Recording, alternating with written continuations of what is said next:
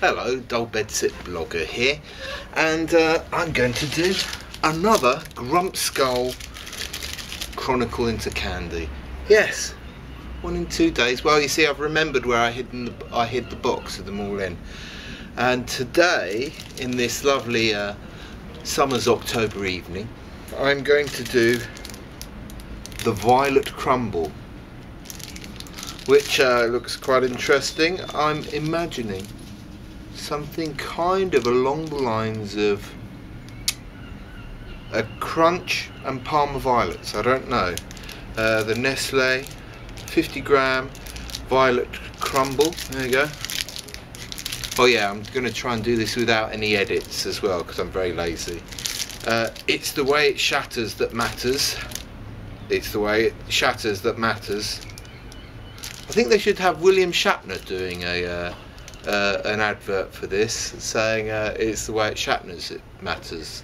Uh, that'd be good. So uh, Nestle. Oh no, Nestle. They're an evil corporation, aren't they? They won't take my idea and give me some money. They'll just take it and then they'll steal stuff from my bedsit. Damn you, Nestle, evil corporation. Anyway, let's get on with the trying, shall we? Um, the post office have shattered it a bit, but you know it's tricky. Right, so let's see. So, uh, oh, it's got a very tight bubble on the honeycomb in the middle.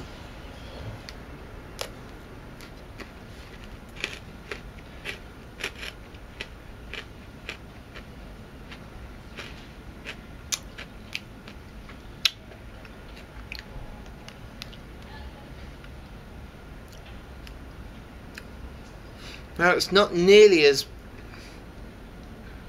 violety as I was imagining. I was imagining a bit of a flowered, scented flavour to it.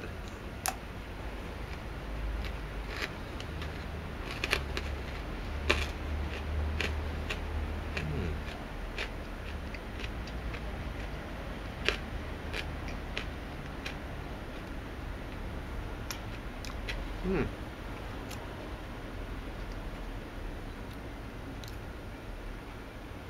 Oh yeah, there is a little hint of violetiness. Uh, let's, let's, have a. What's uh, the ingredients? Um, has it got?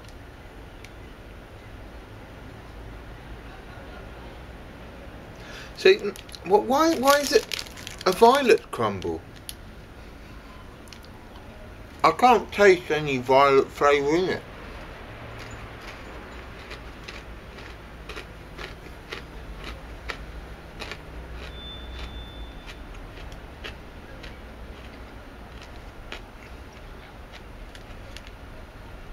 It's basically very similar to a Crunchie. Kind of a, a bit of a, a thicker, heavier uh, honeycomb in there, but basically it's a Crunchie. I was expecting a bit more Parma Violet flavour. So um, because this is a no edit one, I'm going to do a very sneaky thing so I can turn off the uh, thing and not have to snip it in in editing. So I'm going to do a nice crunch, nice and close, so you can hear the crunchiness and hear me chewing it. Okay, so you're ready. So this is what it looks like. Mmm. Bye bye.